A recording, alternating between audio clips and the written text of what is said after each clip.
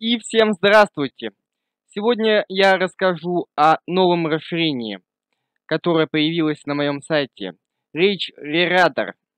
Данное решение позволяет обновлять страницы с большой скоростью в автоматическом режиме.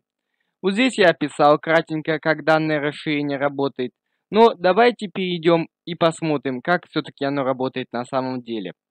Нажимаем на вот эту ссылочку и переходим в, э, в Яндекс магазин расширений. Нажимаем на кнопку «Скачать». Вот здесь она появится. И скачиваете. Я его уже предварительно скачал. Давайте я продемонстрирую, как оно работает. На Яндекс странице, разумеется. Нажимаем также я открою еще одну, на всякий случай.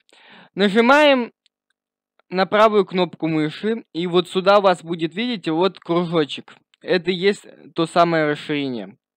Смотрите, 30 минут, час, 2 часа, 6 часов обновлять страницу. Но вы сами понимаете, у меня нету столько времени ждать, и у вас нету.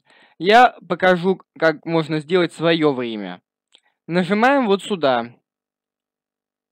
И можно выставить свое время. Но я поставлю 5 секунд для наглядности. Ждем. И страница должна сама обновиться. Вот. Она будет обновляться каждые 5 секунд. Но давайте все-таки я вам покажу кое-что поинтереснее. Ну, вот, допустим, вы хотите ускорить и вам надо прям быстро-быстро-быстро, чтобы обновлялась страница. Давайте покажу, мне не сложно. Смотрите, вам, например, нужно каждую секунду, но вы хотите, чтобы оно даже быстрее, чем каждая секунда обновлялось. Ставим 0, 0, 0 и 1, 1. Можно, конечно, нулей побольше, но нежелательно. И нажимаем ОК и наслаждаемся.